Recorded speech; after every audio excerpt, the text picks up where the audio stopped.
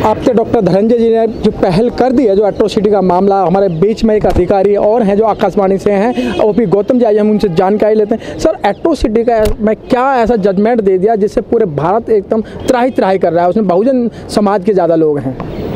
Apple जो atrocity में act जो अभी 20 तारीख को जिन्होंने अमेंडमेंट किया है, इसको लच, और लचीला बना दिया है।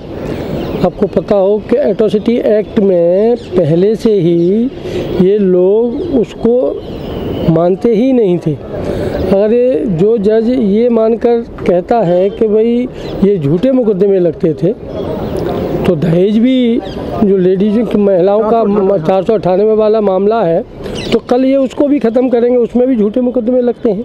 जी। आज ये इसकी बात कर रहे हैं तो मुझे बता दें कि एट्रोसिटी एक्ट के माध्यम से देश में कितने केसों में पैरवी हुई है। कितने केसों को इन्होंने उनको सज़ा दी गई है। नामात्र हुई थी और आपको ये भी बता दूँ कि इस इस संशोधन से पहले जी। 2015 में भी एट्रोसिटी एक्ट में संशोधन हुआ है। और उस संशोधन में तो ये हुआ है कि तीन जो जजों की बेंच थी तीन जजों की बेंच ने संशोधन किया है कि एटोसिटी एक्ट जो है पूरी तरह लागू नहीं है इसको पूरी तरह लागू किया जाए। जब तीन बेंच तीन जजों की बेंच ये कहती है कि भाई ये जो एट्रोसिटी एक्ट है सही तरीके से लागू नहीं हो रहा है और लोगों को सम, लोगों को इसका फ़ायदा नहीं हो पा रहा है तो इसमें सं, मतलब इसको सही तरीके से लागू किया जाए। लेकिन वही वही ऑर्डर को अब विडम्बना ये है कि तीन जजों की बेंच एक ऑर्डर करती है और उसी ऑर्डर को दो जजों की बेंच नेगलेक्ट कर रही है। तो बताइए, क्या इस स्थिति में हमारा जो अधिनियम बना है एस सी के वेलफेयर के लिए, क्या वो काम कर रहा है या कर रहा था? जी, मैं एक डायरेक्ट एक बात पे आता हूँ कि अब कहा जाता है, एक अकेले मसीहा ने करोड़ों लोगों की ज़िंदगी संवार दी। उसमें सभी लोग आते हैं, लेकिन करोड़ लोग एक उस महामानव के मिशन को चलाने में नाकामयाब हो रहे हैं। बिल्कुल आपकी बात सही है। बाबा साहब, डॉक्टर अंबेडकर ने जो मिशन चलाया था और उस स्थिति में चलाया था कि जब हम जो है गर्दन में हांडी होती थी, पीछे झाड़ू बंधा हुआ होता था और हम दिन में निकल नहीं सकते थे। उस स्थिति में बाबा साहब ने उन लोगों के लिए अधिकार दिलाए, संविधान, संवैधानिक तरीके से अधिकार दिलाए, संविधान बनाया, तब जाके ये अधिकार दिलाए और आज हम बाबा साहब की उस मेहनत का फ़ायदा लेकर नौकरियों पे अच्छी अच्छी नौकरियों पे लग गए। अच्छे अच्छे कोठियों में रहने लगे अच्छी अच्छी गाड़ियों में घूमने लगे अच्छे अच्छे हवाई जहाज़ों में घूमते हैं। लेकिन सामाजिक तौर पर देखा जाए तो वो समाज के नाम से लोगों का वेलफेयर नहीं कर रहे हैं। और जो निकल गए हैं, जो लोग अभी भी आप स्थिति में बता देता हूँ कि आप शहरों में आप स्थिति देखते हो कि हम बराबर में खाते हैं, हम बराबर में पीते हैं आप देहातों में चले जाओ वही स्थिति है जो आज से पचास साल पहले जिसके थी। पास पैसा है उसकी कोई कास्ट नहीं है। जिस ऐसा नहीं है कि जिसके पास पैसा है उसकी कास्ट नहीं है। जैसे आपने अभी मुझे लगता है कि आप मुझे एक और उल्टे उसमें पूछेंगे कि क्रीमी लेयर होनी चाहिए। क्रीमी लेयर की जो बात हो रही है क्रीमी लेयर क्या है? क्रीमी लेयर क्या जाति खत्म कर देगी? क्रीमी लेयर भी जाति खत्म नहीं कर सकती। मैं आपको प्रेस के माध्यम से बताना चाहता हूँ कि बाबू जगजीवन राम जैसा आदमी जो पैसे में बड़ा स्ट्रांग था।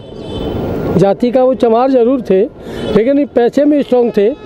लेकिन जब संपूर्णानंद शास्त्री संपूर्णानंद की मूर्ति का अनावरण करने के लिए बनारस गए उसको दूध से और उसकी मूर्ति को जब वो अनावरण करके वापस से आए ही थे वापस अपने घर नहीं लौटे थे जब तक उसके गाय के पेशाब से और गाय की टट्टी से उसे धोया गया तो बताइए क्रीमी लेयर कहाँ रहेगी?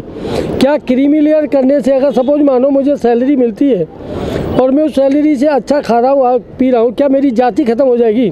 मेरी जाति खत्म नहीं हो सकती। मैं कहता हूँ कि जो आरक्षण की बात विरोध कर रहे हैं, मैं कहता हूँ कि उन्होंने कभी आरक्षण किया है? विरोध किया है? मैं कहता हूँ, हमारे जो साथी, हमारे जो साथी गटर में मरते हैं, उसे कोई ब्राह्मण करते देखा है? करके दिखा दे। आरक्षण की बात तो हुआ भी है ना। आपका जो डेलीगेशन है नहीं जो हमारे लोग सफ़ाई का काम करते हैं हमारे लोग गटर में मर जाते हैं तो उन उस काम को कौन करेगा? सर आपका जो डेलीगेशन है वो अभी तक आप लोगों ने कहाँ कहाँ कार्रवाई कर दी है? देखिए हमने joint action forum for fighting atrocity अभी हमने बनाया है। हमारी एक मीटिंग हुई थी बीस, उसको चौबीस तारीख को मीटिंग में निर्णय लिए गए थे। हमारा प्रतिनिधि मंडल आज पीएम के यहाँ भी अपनी मेमोरेंडम दे के आया है। राष्ट्र, राष्ट्रपति के यहाँ भी दे के आया है और पार्लियामेंट कमेटी में भी दे के आया है। एस सी कमीशन में भी देने आया है और अपने जो समाज कल्याण मंत्री हैं, थावरचंद गहलोत और अठावले साहब, उनको भी देने जाएगा कल। तो हम जहाँ जहाँ जाएँगे और हमारा प्रतिमंडल प्रतिनिधि मंडल इनसे मिलेगा, इस पर बात करेगा, क्योंकि ये जो दो जज हैं, इन्होंने गलत गलत तरीके से जो एक इसमें संशोधन किया है। हम तो सभी सांसदों पे जाएँगे कि सांसदों से अनुरोध करेंगे कि भाई इनके खिलाफ महाअभियोग महाअभियोग लगे। सर अब भी अनुरोध करने वाली बात होगी जो बाबा साहब के संविधान के तहत जो जीत कर आते हैं उनकी क्या रिस्पॉन्सिबिलिटी थी? नहीं, आप लोग इनको लेटर दे रहे हैं इनकी कोठियों पे क्यों नहीं जाते हैं आप उनका धरना प्रदर्शन करने? ये ये जो लोग हैं जो आप बिल्कुल आप कह रहे हो कि भाई ये जीत के आते हैं उसी संविधान के आधार पर आते हैं मैं आपकी बात से सहमत हूँ, लेकिन वो आपकी बातों से सहमत नहीं है। आपने देखा होगा जितने सांसद जीत के आते हैं, जब उनके पास आप काम करने की बात करो, जाके कि भाई हम उस क्षेत्र के हैं तो वो कहते हैं, मैं आपकी वोटों से नहीं जीता। तो मैं प्रेस के माध्यम से ये भी बताना चाहता हूँ, वो कहते ज़रूर हैं कि मैं आपकी वोटों से नहीं जीता, लेकिन कभी भी उन्होंने साबित नहीं किया कि मैं आपकी वोटों से नहीं जीता।